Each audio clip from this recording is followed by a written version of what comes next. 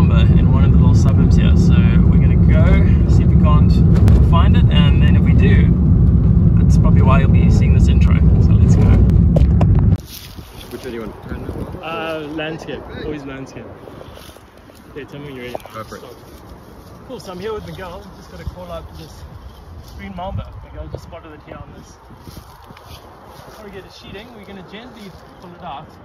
She looks quite heavy with eggs, so we're going to be real gentle. There we go. Green mamba.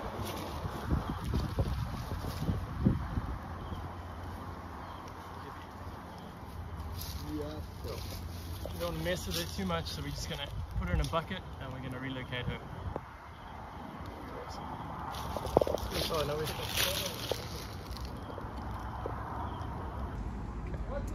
Cool, so now we've got the snake, but we need to climb over the wall with the snake in our hands because our bucket is on the underside, the underside. So let's have a walk through and we're going to see. So yeah, you can cut it there. Cool, so we got our bucket over here, so we're just going to pop it gently in the bucket and that's going to be it. Legend. We need the lid. There's no one to be in the bucket.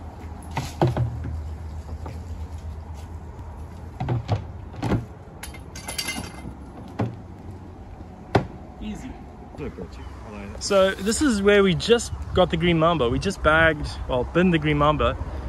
And so we came back to flip here. My Miguel just flipped a really nice looking brown house snake, which looks like it's had its lunch.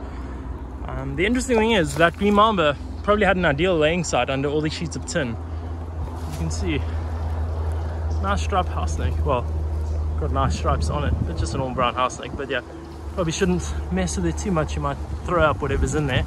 Then we're gonna get stuck with that. But awesome, we're gonna get out of here. Cool, so we're just gonna release this house snake back under the sheets of tin. We're not gonna tell the homeowner we found another snake under here, so this guy can stay here.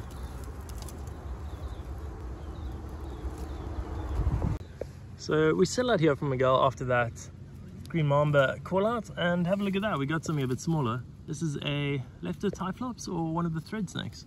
Mm, I'm not too sure what species. They all look pretty much the same. But nice to see something a little bit smaller. Anyway, so we just got to another call out and we have a thick set green snake under these roof tiles which is just going to be a spotted bush snake. But we're going to see if we can't get it out. And there it is. Second green snake of the day. Out here with Miguel doing call outs. Um, we're to get this guy out of here because these people are freaking out. So let's just grab him before he gets away. So here's just that spotted bush snake that we just took out of this people's garage. What a crazy time trying to find these people's place, especially in these sort of rural areas can be really difficult. There's no street names or anything like that. But yeah, we're just taking this out the house and we're literally just going to just literally release it here. So welcome to another so welcome to another episode of Let's drive a couple hours, spend a whole lot of money on fuel and try to see if we can find obscure frogs and reptiles in this case that I haven't seen before. The main goal of today is we are looking for the mistbelt chirping frog, the striped caco, the striped dainty frog.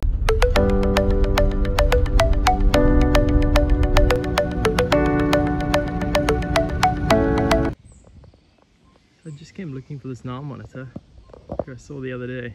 Didn't manage to get any footage. You can see here it's just basking on top of this anthill. Oh, I think he's seen me. He's starting to move a bit, but I'm gonna go back and get my camera with my telephoto lens, see if I can't get any pictures of him without spooking him. So you can see here where the Nile monitor's obviously been cruising around. You can see the drag marks from its tail and yeah, he scooted right down there. So unfortunately we didn't get to get a closer look at him and I doubt that he's gonna come out again today. So we just round the corner from where we just saw those Nile monitors, well the Nile monitor, and I flipped this log in the background and there is a Durban dwarf burrowing skink underneath it, Scelotes inornatus. Um, These guys are listed as critically endangered and usually only occur, well, the main population is around the south of Durban, uh, like we've seen in some of the previous videos. But this one, I'm about 60 kilometers south. So, nice bit of range not a range extension, they are known from here, but for my own personal records, about a 60k extension from where I've seen them before. So, of course, you know we're gonna snap some photos of this bad guy, and then we're just gonna let him go again. So here's a better look at that Scelotes that we just picked up. This is Scelotes inornatus, the Durban dwarf burrowing skink. Even though, like I said, we're about 60 kilometers south of Durban, in a little place called Scottburgh, so significant well this is pretty much the southern extreme of their range this one's in the blue usually they're a lot more vibrant in color but you can see he's got a bit of a sort of a, a bluey gray hue to it which they typically don't usually have but i'm really chuffed to get hands on this one because this is the first one that i've seen out of uh, the greater durban area so nice little one to whack on the maps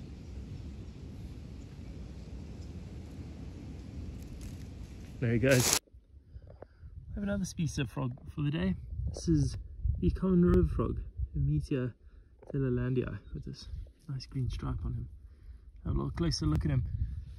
Similar to the clicking stream frogs we've been getting, but yeah, just a member of a different genus. Got two more frogs on the list. I just double flipped this clicking stream frog on the left and a little guttural toad on the right, just under a burnt log here. You can see we're just on the edge of a pine plantation so these little ecotones of natural vegetation are always really important to the animals because it's really the only places they have to live. So we're to keep it up and flip a few more logs and get on to our next spot. So we're still out here. We are actually looking for a really difficult frog to find called a mistbelt chirping frog. But I was just going through some of the pine needles here and look what turned up. Sorry about that. This is the plaintive rain frog, Breviceps verrucosus.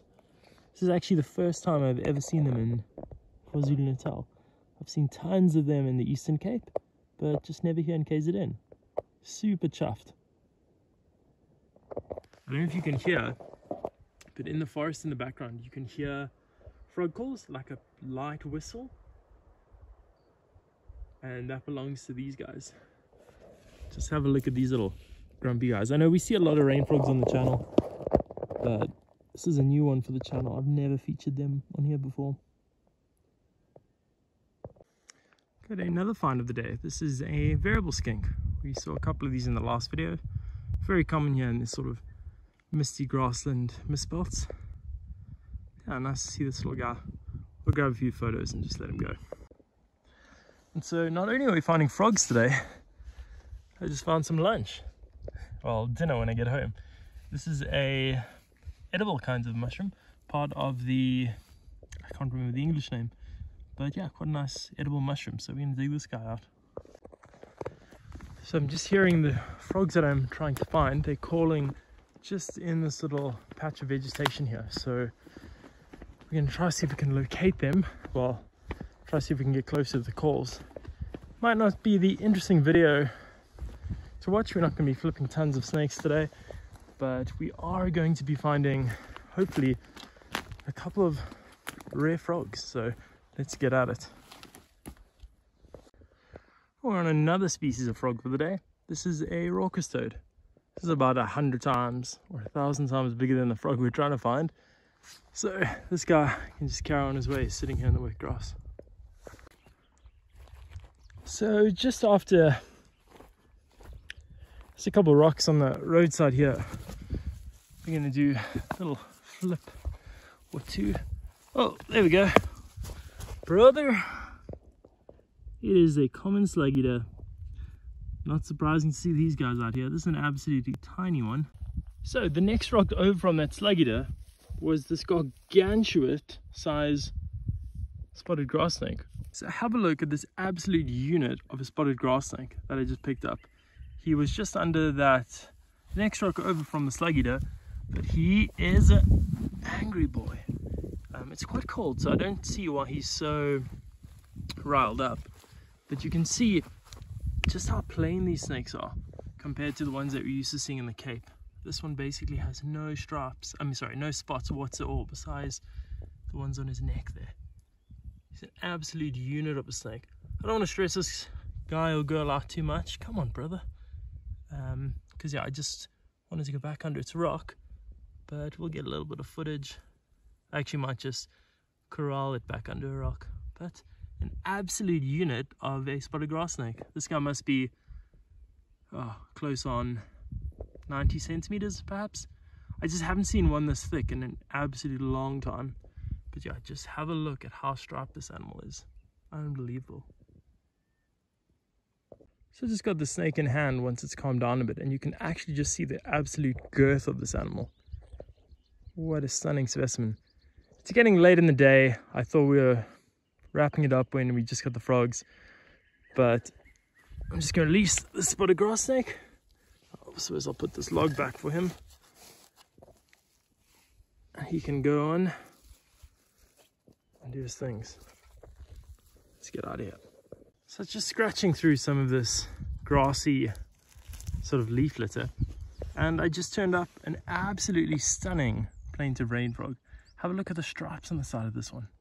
This one is incredible. He's just releasing a bit of this sort of white mucus. It's sort of a, a poison secretion. It's just a defensive mechanism. Obviously, while I was digging around there and obviously disturbed him, so he gets a little bit grumpy but not to worry we are just going to I should pop on a log for now um, we're going to carry on scuffling around here and I'm trying to find our second golf species of today just flipped over this little piece of bark that was laying on the ground and we have another Breviceps you can just see just how tiny this one is good day for Breviceps now if we could just find our other target for the day I'll be super chuffed. Plaintive rain frog, Breviceps verrucosus. So does it look like I'm in Jurassic Park yet? So I've been just about ready to give up. I've got about a three hour drive home. As you can see, the conditions are less than ideal to drive. And we just got our second and last target for today. This is the mistbelt chirping frog. A couple of videos ago, you would have seen that we got the Natal chirping frog. So I'm absolutely, I'm freaking out. I've been wanting to see this species for so long and this is a massive, is this a female? It looks like a female. She's absolutely... So me and Miguel stopped at another spot. We are looking for dusky belly water snakes. You can see it's pretty much pristine habitat along this little stream. There's loads of this sort of slate rock here and we're just going to be flipping Miguel tends to find them in the water, but we're gonna give a go at flipping some rocks for them.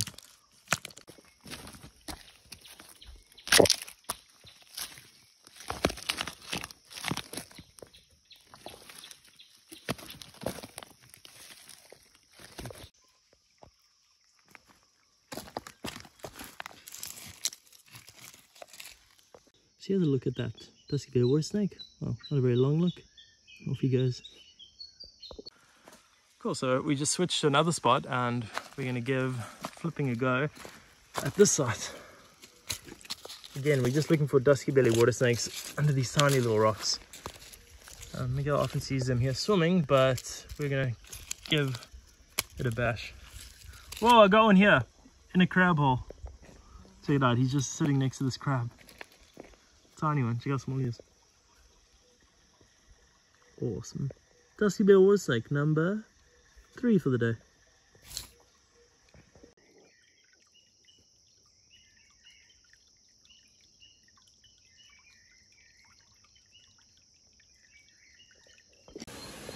It's getting a bit late in the day, but here is a common river frog.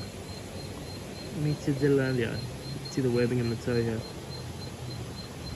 Big old frog. Later, brother. Just heading out from the dusky spot, and we just road cruised the snake. It is a firm favorite. It's a really little brown water snake. Let's just see if it gives it a little look. So you got that little pale pink belly, skinny little head, and as you can see, there are lots of cars on this road, so if we'd come a little bit later, probably would have got smashed. We're just gonna move this guy off the road and let him go. Cool, so that's pretty much gonna be it for today. We've got those Duskies, got a couple of these yellow striped reed frogs, and that is gonna be it for KZN.